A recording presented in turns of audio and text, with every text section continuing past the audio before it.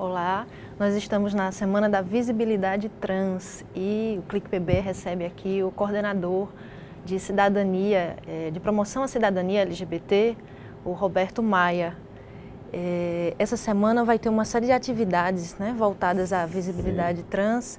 É, explica para a gente um pouquinho, Roberto, que atividades serão essas? Então, a gente vai ter o lançamento do selo Amigo da Diversidade Sexual, que é um selo que a gente pegou um modelo de Salvador, onde eles conseguiram incluir pessoas LGBT, principalmente pessoas travestis e transexuais, nas unidades só da família. Então a gente vai ter o lançamento no Cristo, né, na unidade de saúde do Cristo, e depois a gente vai fazer os lançamentos em mais quatro unidades, vão ser uma unidade por distrito sanitário.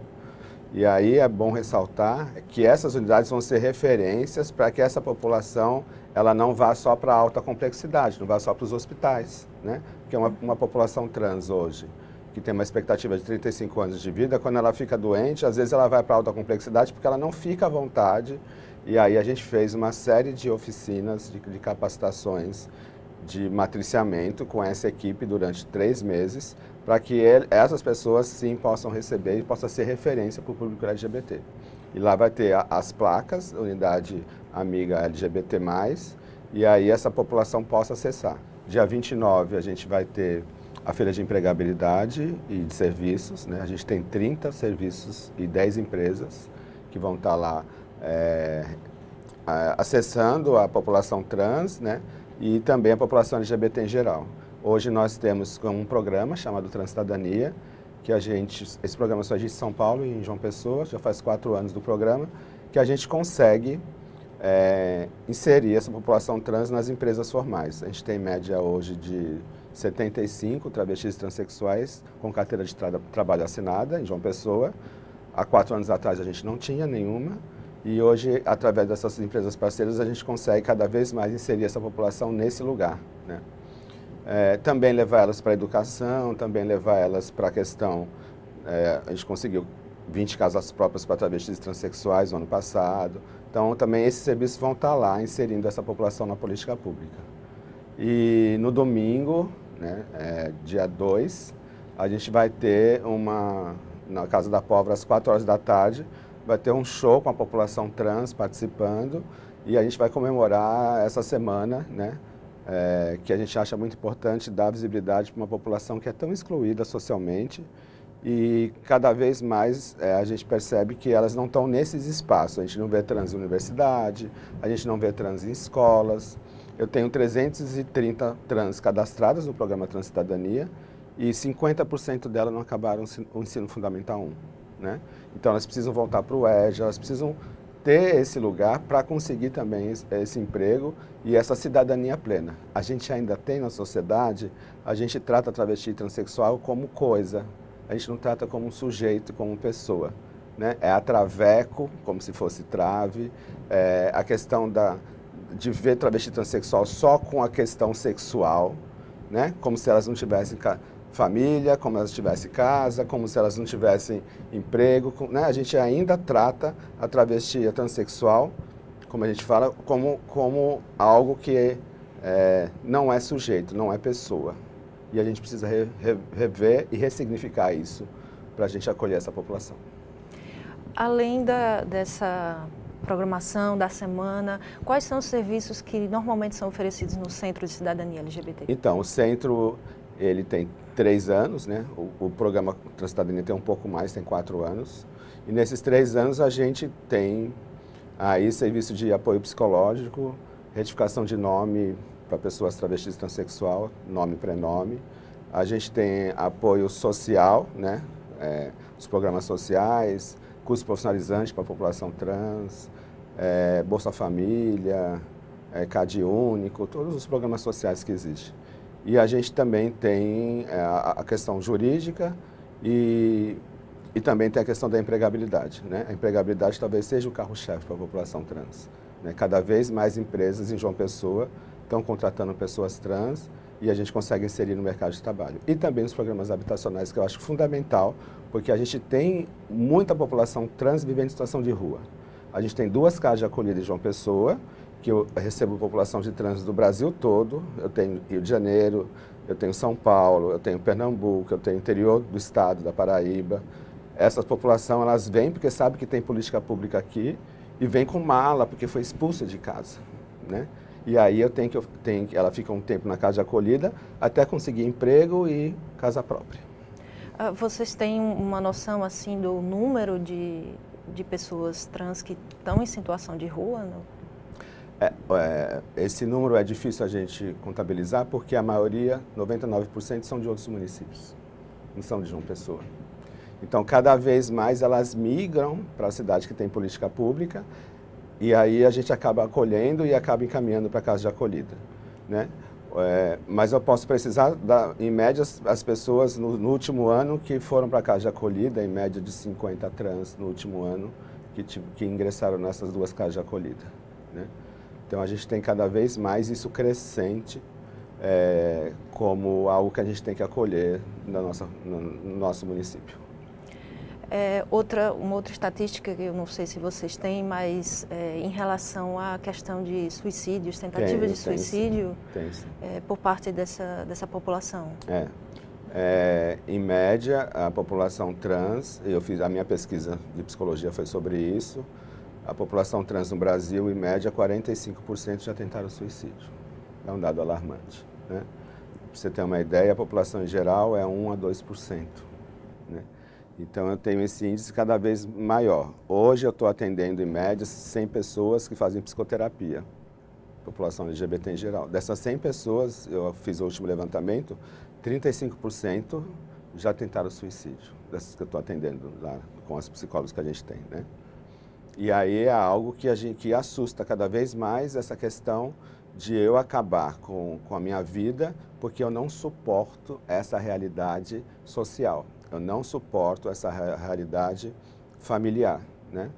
E aí é algo que é, cada vez mais isso é mais crescente no nosso, no nosso país, infelizmente. Esse acompanhamento psicológico, o qual você citou, é, também atende as pessoas que estão passando pelo processo de transição e precisam dessa, é, desse acompanhamento, porque geralmente se faz uma, uma, um acompanhamento por um certo período para definir se a pessoa realmente quer é, fazer uma cirurgia, né? Do, é, esse acompanhamento vocês fazem também? É, fazemos, mas eu, tenho, tenho que colocar uma ressalva aí, né? Porque não é o psicólogo e nem o psiquiatra, porque agora transexualidade deixou de ser disforia também, pelo Código Internacional de Doença, então pela psiquiatria também não é doença. Ah, é algo que quem fala da transexualidade das pessoas são elas mesmas. Né? A gente acha importante esse apoio, mas infelizmente no SUS a gente essa essa questão da, da cirurgia ela praticamente acabou, né? Então, por exemplo, em São Paulo, eu tenho 12 cirurgias por ano eu tenho uma fila de espera de 2.500 travestis e transexuais. Se você fizer o cálculo, dá 100 anos de espera, né? 50 anos de espera. Então, se a gente falar isso dessa fila de espera através do SUS, ela praticamente não vai acontecer. Né? Então a gente tem um apoio, porque elas estão tomando hormônio, às vezes mexe uma, uma questão por, por, conta dessa transição, aí ela precisa desse apoio, né? mas não especificamente da cirurgia né? Porque a cirurgia elas ainda fazem vaquinhas para fazer algo do dia a dia delas. E a maioria delas usam, infelizmente, as bombadeiras. Por quê? Porque eu não tenho acesso do SUS. Né? Uma travesti para colocar uma mama seria um processo fácil, como uma, uma mulher cisgênero, ela consegue colocar a mama quando tem câncer. Consegue? Por que as, as travestis não conseguem? Né? Então, ainda aplica o silicone industrial, é um modo muito ruim de fazer isso, mas a gente sabe que é um modo de ela transformar esse corpo, né? Os homens trans geralmente fazem vaquinha e conseguem fazer a mamoplastia masculinizadora, transformar essa mama feminina numa mama masculina com recurso próprio, mas é caro, né? 8 mil reais uma cirurgia aí. Geralmente eles fazem em Campina Grande particular. E a questão dos hormônios, a hormonioterapia, eh, se consegue no SUS? É, elas compram particular, né? A gente tem hoje em João Pessoa tem um ambulatório de travesti transexual, mas eles não dispensam o hormônio, né? Já que o hormônio feminino não é tão caro como o masculino, o masculino é bem mais caro. Então elas conseguem fazer esse acompanhamento, mas não é ofertado pelo SUS. Elas compram e a gente, nessas unidades, por exemplo, a gente vai ofertar também para que o profissional possa aplicar esse hormônio feminino e o hormônio masculino. Né? Por isso que serve também essas unidades de saúde da família de referência. Entendi. E essa a questão que você citou agora daqueles do silicone industrial que elas usam porque né, não vem outra opção uhum. e é algo que oferece riscos muito sérios à saúde. Né? Sim. A gente vê vários casos é, de complicações que às vezes podem levar até a morte. É, grande, algumas delas, elas é, algumas vão ter embolia pulmonar e aí pode levar à morte, sim. Né? Esse silicone geralmente ele vai descer para as pernas, então ela vai ter problema de circulação, vai, vai ter, ter, vários problemas, mas ainda no nosso país, né, onde esse binarismo, eu sempre falo, esse binarismo é muito castrador para nós para nós até cisgêneros, né? Assim, a gente precisa se comportar de uma maneira se for homem, de uma, de uma outra maneira se for mulher. Precisa ter aquele corpo ideal, né? Se for uma travesti transexual, perfeito, né? Então, é essa perfeição que também que a gente tem que desconstruir, inclusive para as mulheres trans. Né? É importante elas terem um corpo, né? Mas eu acho que tem uma questão também dessa estética que, que socialmente é, é muito cobrado, né? E quando é uma mulher trans, ela precisa ser uma mulher perfeita para ganhar dinheiro. Ainda tem isso na prostituição. Né? Ela precisa ter aquele estereótipo para ganhar dinheiro. Então, para conseguir um corpo perfeito, quanto mais ela ser parecida com uma mulher, mais dinheiro ela vai ganhar. Infelizmente, o SUS não cobre e elas fazem essa aplicação de hormônio é, com a, as próprias mulheres trans, que a gente chama delas, algumas são bombadeiras. Né? Elas ficaram especializadas em aplicar hormônio umas nas outras. Não é o procedimento ideal, mas se a gente se colocar no lugar delas, né? Será que eu, quando eu tivesse disforia, olhasse no espelho e visse uma, uma afeição que não tem a ver com o meu eu, né? Será que eu também não aplicaria? Quem sou eu para julgar? Né? Então a gente acolhe essas questões e a gente até é, precisa dialogar com essas bombadeiras para que elas possam, sei lá, ter uma higiene melhor, né, do ambiente e tal. Isso também é redução de danos, né? A gente também não pode excluir essas pessoas e achar que isso não, não é realizado. Elas vão realizar, né? E a gente pode, a gente precisa dialogar, inclusive, sobre essa questão também. Porque são pessoas que preferem correr um risco uh, à sua própria saúde a ficar com aquele corpo que elas acreditam que não lhes pertence. Por que elas preferem correr o risco? Porque grandes parte das mulheres trans, elas se matam também, elas acabam com a vida por conta da disforia de gênero. Né? Quando ela se olha no espelho e vê que não é aquele corpo que ela quer, ela não consegue às vezes lidar com aquilo. A sociedade aponta. Né? Olha lá, ela, o, o, no ônibus ela é apontada, em casa ela é apontada, nos equipamentos né, de, de saúde ela é apontada, em todos os lugares ela é apontada. Então, se ela parecer, como a gente fala, da passabilidade, se ela parecer com uma mulher cisgênero, né, e tomar hormônio e ninguém saber que é uma travesti, ela é menos, sofre menos preconceito. Entende? Sim. E aí ela, ela acaba não cometendo suicídio. Então, às vezes, o hormônio também é um lugar para ela continuar viva, né? Para ela passar enquanto, pessoa, enquanto mulher cisgênera.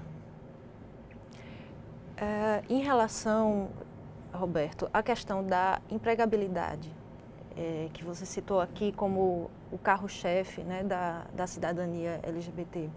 Quais são as dificuldades que as pessoas trans enfrentam para conseguir emprego, para conseguir se inserir no mercado de trabalho? Então, a grande questão é que as empresas ainda não estão voltadas para a diversidade. Em João Pessoa, nós temos a maioria das grandes empresas é, ainda de maneira muito familiar, né? Os cargos são familiares, né?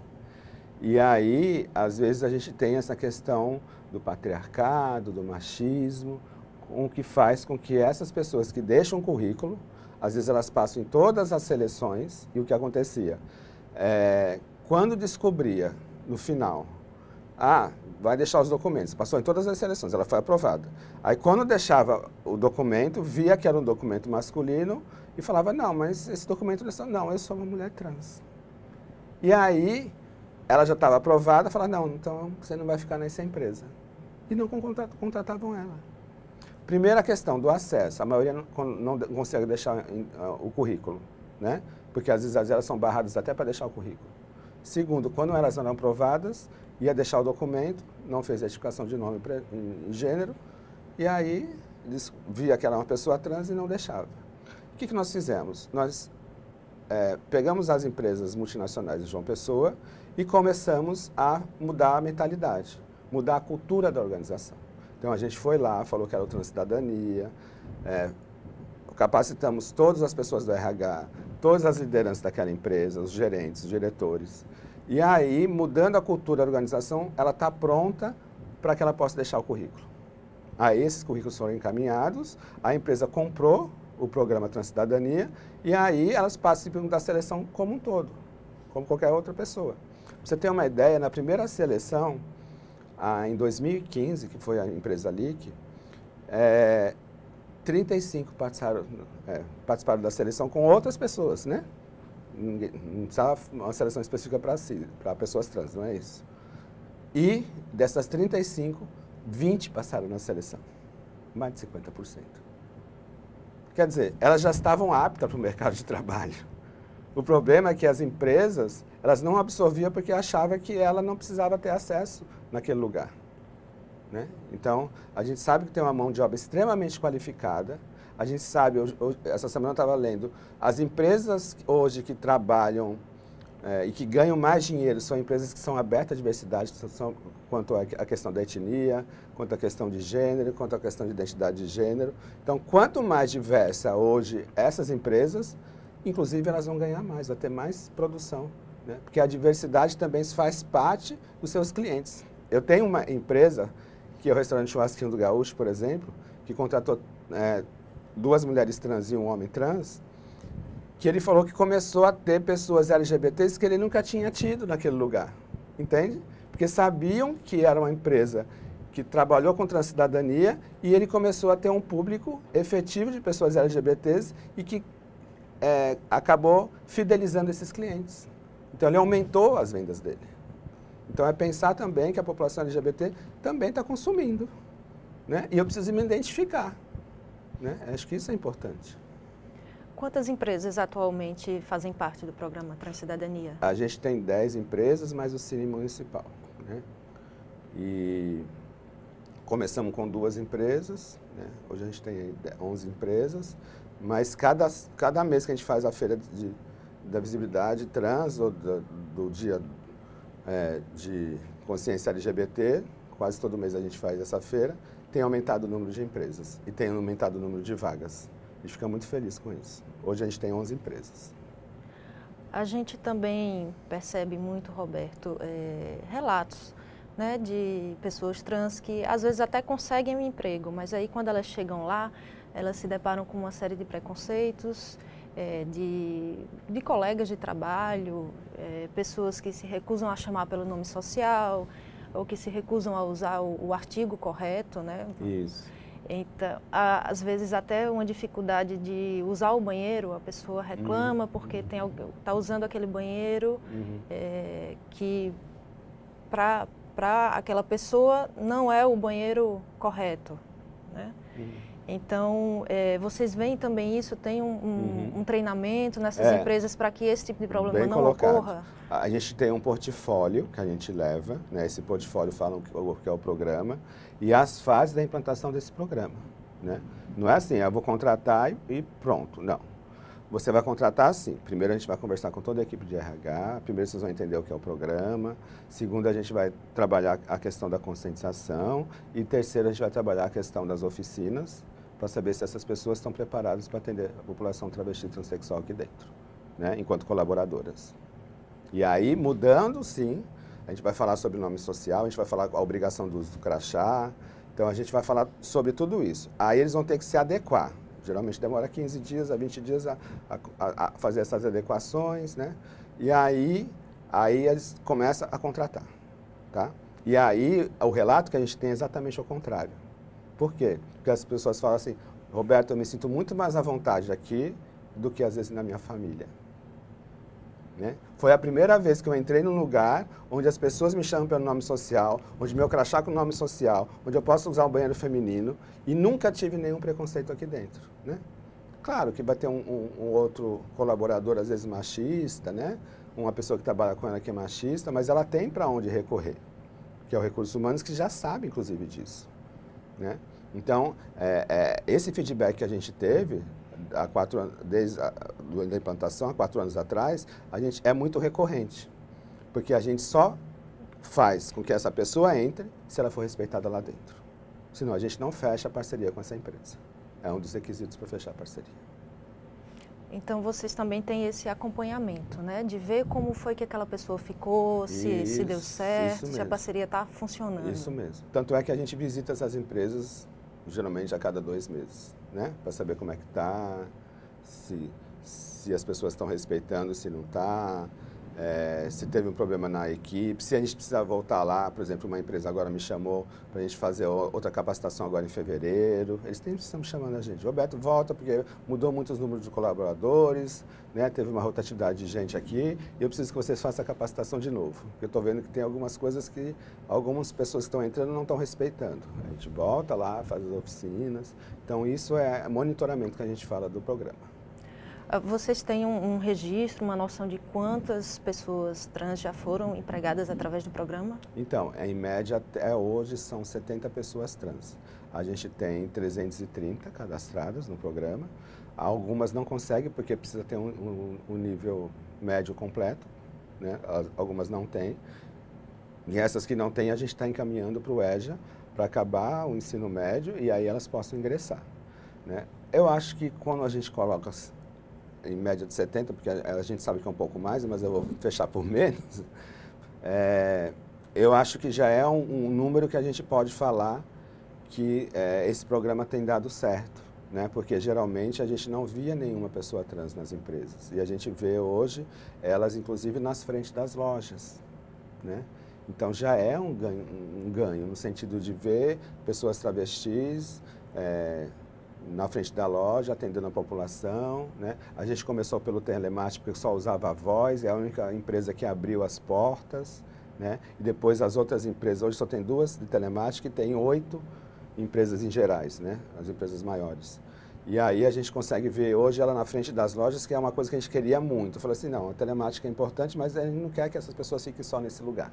Né? A gente quer ver elas também atuando e, e sendo coordenadores e sendo supervisoras e, e indo para a universidade. Né? Tem algumas que já foram para a universidade, saíram da empresa e aí estão na universidade hoje. Então, é, daqui a pouco são professoras. Né? Elas precisam estar nesse lugar também é, de visibilidade nesse sentido. Né? A gente não pode achar que as, as pessoas trans precisam estar também é, só num local é, que não tenha visibilidade. É ao contrário, a gente precisa incluir elas nos, nas políticas em geral, né? E que elas possam ser, daqui a pouco, presidentes de empresas, por que não, né?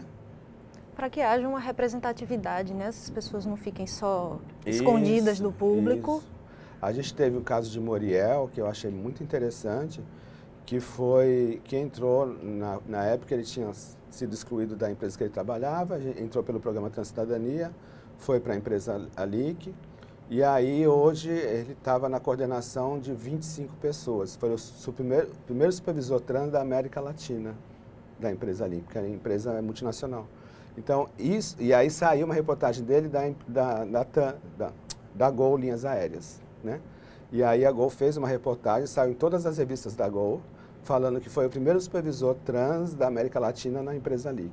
E eu acho isso muito legal, né? Porque a gente também essas pessoas quando acendem, então vamos fazer algo para falar que essas pessoas têm potencial e elas precisam estar nesses lugares. Né? E uma coisa que a gente sempre fala, a gente não pode higienizar achando que essas pessoas, ah, mas é porque está na empresa, uma travesti transexual, viveu a vida do, toda na, na, prostituição, então ela precisa sair da prostituição para ir para a empresa. Não. Né? Se ela quiser fazer as duas coisas, que faça. Né? A, gente, a gente não acha que que a prostituição, ela às vezes não seja um lugar ruim para a pessoa, mas ela não pode ser algo compulsório, né? Elas vão para a prostituição porque é o único lugar que aceita, que acolhe. Que elas tenham outras, outros lugares que elas possam trabalhar também, né? além da prostituição. que não seja a falta de opção, né? Porque isso, houve uma isso. época em que as opções para as pessoas trans é, se resumiam a prostituição e, e, salão de beleza, isso, não é verdade? Exatamente. É. E que ela saia um pouco desse estereótipo, né? Que ela possa galgar outras questões, outros sonhos, outros desejos na vida dela. E muitas já estão com, é, como você falou, o ensino médio, a, a graduação mesmo, o nível isso, superior, são isso. pessoas é, muito capacitadas muito. que só precisam de uma oportunidade. A gente tem mulheres trans cadastradas que falam dois, três idiomas, né? E às vezes elas não estão nesse mercado de trabalho. E a gente questiona, por que que não está? Então, uma mulher tão capacitada, está acabando a faculdade, tem dois, três idiomas e não está no mercado. Né? Então, acho que a gente, cada vez mais, a gente tem que mudar a cultura da, das organizações desse país. Com certeza. Obrigada, Roberto, pela sua participação aqui com a gente. Obrigado a vocês.